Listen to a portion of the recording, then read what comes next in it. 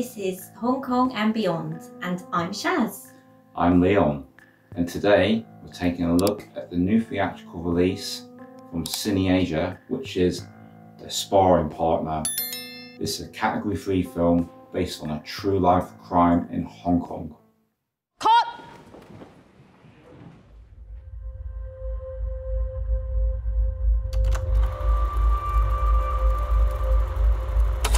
佢兩個咧喺三月二號嘅時候失蹤嘅，咁佢哋曾經話過自己會翻上大陸，但係到而家咧都仲未翻到。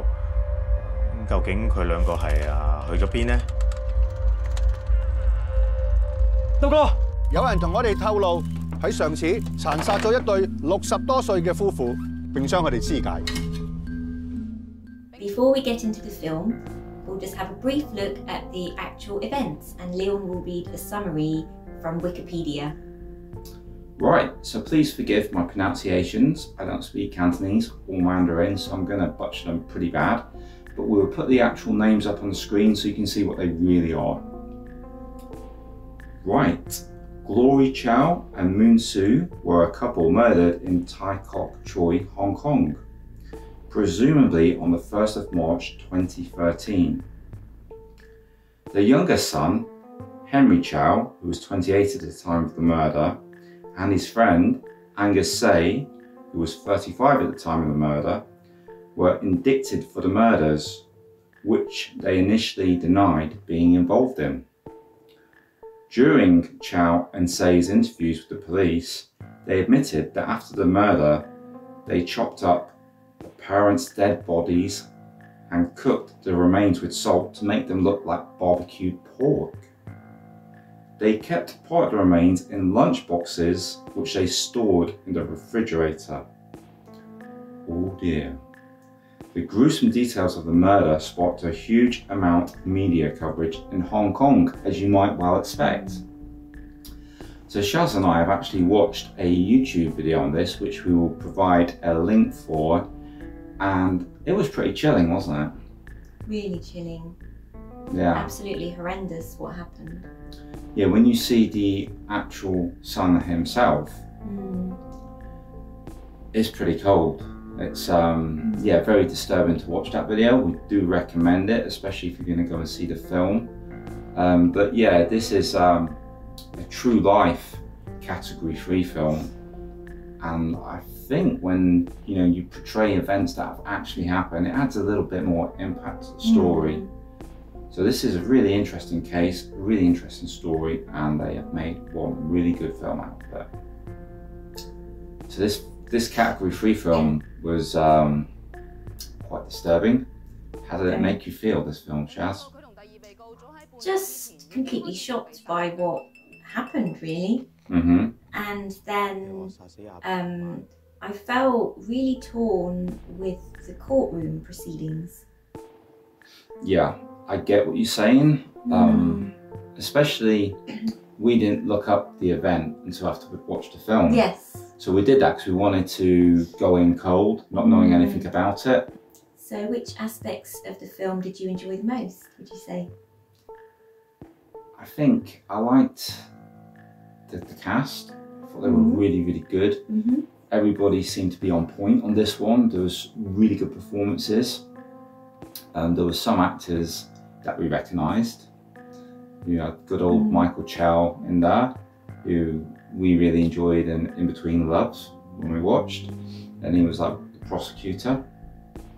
And um, one of the jury members is Gloria Yip, who if you are a regular watcher to our channel, you might remember we covered her in Saga the Phoenix and the Peacock King in our well, Blues a while back. And they were very good in the roles, and yes. the, the, people that were new to us were very, very good too. Yeah. And I think the editing on this film was pretty fantastic, actually. The, mm-hmm. the way they depicted everything. You might be in a courtroom, but then they might be talking about something that happens, and then the court is in that scene. What's yeah, happening around them? I, I really like that actually. How you know, like you say, the, the courtroom or the people in the courtroom were suddenly in another place examining what was going on. Mm. Yeah, I did like that. Yeah, it was pretty pretty mm. clever way of doing it, wasn't it? way, yeah. I mean, I I really liked the whole sort of courtroom feel because it was there was quite a lot of the film in the courtroom, and whereas some people might think that wouldn't be very interesting, it was. It was riveting, wasn't it? It's gripping, very gripping. Mm. So, this question I like to ask: If you was going to improve this film, could you? Would you? Hmm. I'm not sure I could, to be honest. I'm not sure there was any point I would do differently. To be to be fair. What about you? The the son, the actor that played the son, I did like him. I liked him a lot. Hmm. And this isn't a criticism, but I would have liked more screen time with him. Hmm. I think as he's obviously the the the main part, you know, it's his Right. parents that were murdered. I'd like to have seen it focus a little bit more on him. What did you think of the soundtrack in the film? It's nothing. I don't think I have complaints as such, but I can't really remember it. Now we just watched it last night, and I don't know whether that's a good thing or not because it might have just it might have I might have just relaxed into it and let it wash Mm. over me and but there was I couldn't hum it to you afterwards. There could have been music. Maybe there wasn't any. Maybe that's why I didn't notice any. Maybe we were both too absorbed I think we were too absorbed. to even notice. So the photography in this film, how well do you think this this movie was shot? Really well, actually. There, there was some well thought out camera angles and, and bits, you know. What about you? the angles they took, the the backgrounds. There's sometimes they have shadows, eh, which are really good in the courtroom, and they might have like light across somebody's eyes to make Yes. that yes. stand out. Yeah. It all amplified the mood Yeah. of the film and, and made it, you know, hit home a little bit more. So this was really well planned, and it looks great. It looks a million dollars. This film.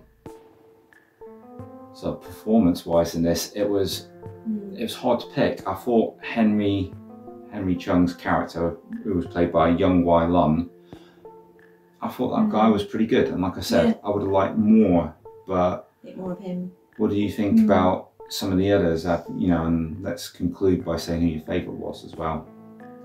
I thought, like you say, everyone, especially like in the courtroom scenes, I think all of like the barristers were very good. hmm Um, gave really strong performances, and also um, Angus, the actor that played him, I thought he gave a really strong performance as well. So he was called Mak Pui-Tung. Mhm. Probably getting that wrong, but yeah, he was very good. yes, He um, yeah, he was very convincing in his role. And yeah, he made you very unsure of the truth Mm, of events mm. and what was going on.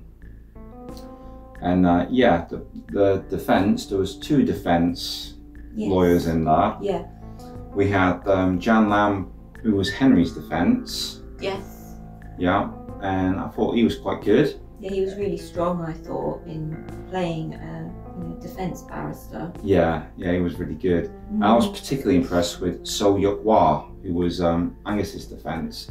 yes, again, brilliant. I've not seen her Mm, before, but no. she really leapt off the screen. I mean, it made me Mm. interested. I thought, oh, I want to see more of hers. Mm. But I'm going to have to go old school and say I liked Michael Chow the best. I've not seen him in a role like this. And I was just really pleased. I was really chuffed to see him play this sort of ro- role, you know. As the prosecutor, I thought he was very, yeah, very good. Yeah. Yeah. What about you? If you had to pick one, Um, it would be Angus, the Yeah. actor that played Angus, who was Mak Pui-Tung. yeah, great. Oh, that's good. And this film is a first time director. Yeah, that's pretty amazing if this was his first direction. Yeah. Job because it, it was brilliant. We want you guys to look him up because he did a good job. So I'll put his name on screen now. Is there any other words that you have on the film that, you know, any Um, afterthoughts that, Yeah, well, I think as we were watching it, um, it just put, put me in mind of a film called, is it 12 Angry Men?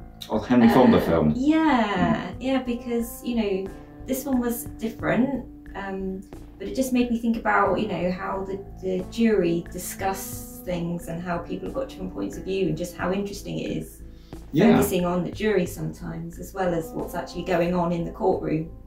You're 100% right. I would not be surprised if that film was kind of an influence on this film because we did get quite a lot of the jury Mm. talking um, and it really did. Yeah, now you said it, it really is got a lot of similarities with that film and that film was a cracking film. This is Yeah. a cracking film, Yeah.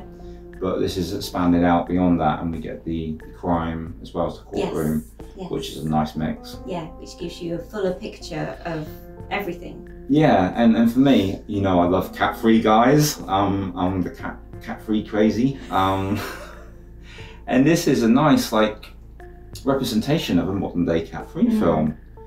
It might not look it to some people. Some people might think, oh, this is a drama or a thriller, but it does have a lot of the cat-free tropes in there. Yes. And I noticed they played to it a little bit, like the actor that played Henry, he looked a bit more sinister in the movie than what the actual guy did. They've sort, Mhm. sort, so they have tried to make little attempts to make him, you know, a bit of a character. Mm.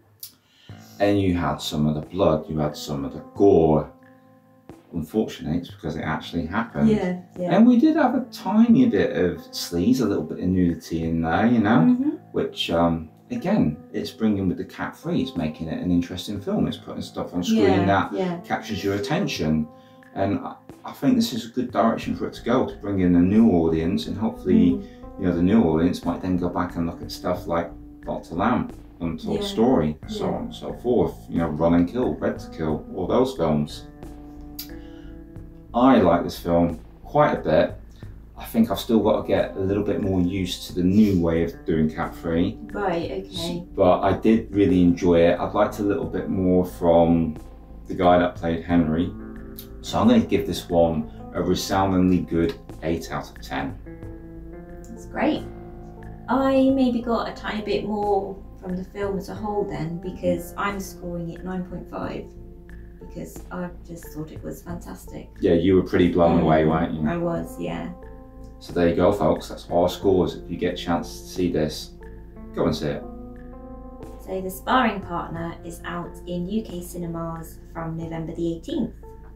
Um, it's going to be shown at Showcase Cinemas in Bristol, Leeds, Liverpool, Reading, and Southampton. Um, we believe it will be rated 18. Yes, and not surprising. Mm. We'd like to give a great big hearty thank you to CineAsia. Thank you. and in particular our friend Thank you. Ventris Mar. She's really been looking after us with sending us these fantastic films to review, and we really do appreciate the opportunity on our little channel here. And uh, thank you to everybody that stuck with us and watched our reviews. And if you made it this far through the video, an extra big thank, Thank you. If you guys haven't already, please like and subscribe. It really is a great deal to us. We really enjoyed this one. We hope you guys enjoyed it too. And uh, we hope to bring more to you from CineAsia in the future. If um, anything you'd like to add, um, you got any comments on the crime or the film itself, please leave us a comment below. Or you can email us at hongkongblu-rays at gmail.com. And uh, that's all from us, Shaz. Yep, that's all for now. We'll catch you on the next one.